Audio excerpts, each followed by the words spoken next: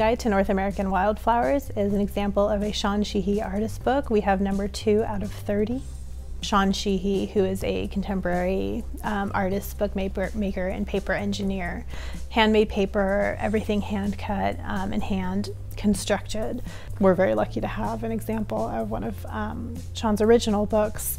Um, the other thing that I really like about this field guide is that he's taken a historical content base in terms of you know field guides to flowers that we're all used to, but he is also um, inserted an LGBTQ message into it. And when you read the descriptions of the flowers at the back, you sort of see that there's a political human touch that you wouldn't, of course, see in a historical field guide to wildflowers. So it's both beautiful to look at. Um, the flowers are very striking as they pop out, but there's a lot of meaning inside of the book as well.